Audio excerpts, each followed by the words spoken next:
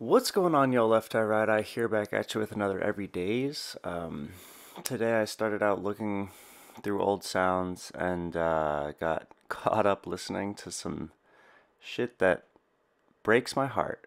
Um, just some old, old stuff that's toggling memories. Um, but anyway, I decided to stop listening to that stuff and just record um, a sound in myself uh, and then found the key, found the tempo, you know the deal. Uh, messed around with a lot of automation today, um, and uh, you know to give some stuff the wobbles, and uh, that's it. You'll hear the sound in just a sec.